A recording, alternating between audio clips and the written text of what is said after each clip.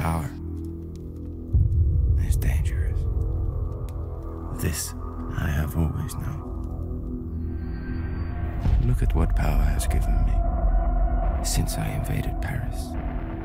I found myself thinking, what use is power? You see, the problem with power is that the more you have, the more others want it. And in my world, can only truly be built with blood. Only fools believe they can live forever by avoiding the fight. I embrace the idea of death. Will I get into Valhalla?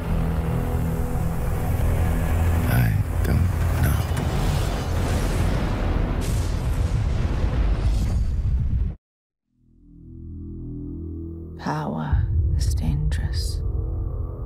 These are the words of the gods.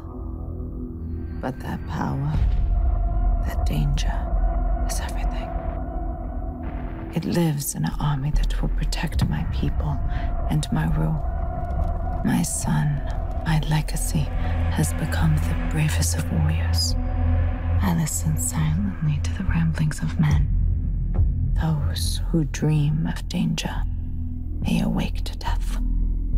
But life must be lived to the fullest before it is over.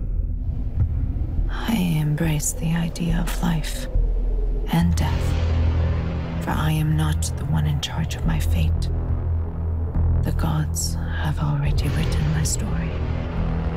Victory or Valhalla.